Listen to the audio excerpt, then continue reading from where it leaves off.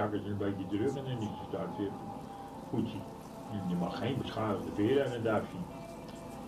Hier zijn we ineens in uh,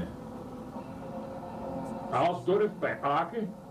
U ziet daar Corrie Joek staan, die bij mij toen een week of twee op, op visite was. En toen zijn we de tour gemaakt maken langs de diverse duifhokken. En die meneer die daar staat, dat is Muller, dat is een bouwondernemer.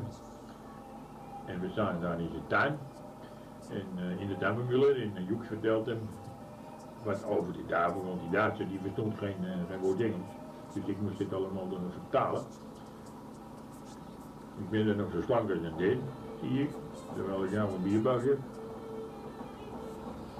En Joek vertelde hem, kijk daar zitten gaatjes in de veren en uh, jongens, kijk even die kant op kijken, want uh, oh, daar komt de knecht van de Muller en die komt er wat vertellen dat er een kar met over de deur staat.